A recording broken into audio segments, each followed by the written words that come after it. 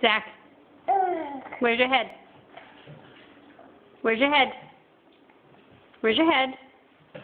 Mommy. Mommy. Where's your head? There you go. And where's your nose? Mommy. Mommy. Mommy. That is definitely your nose.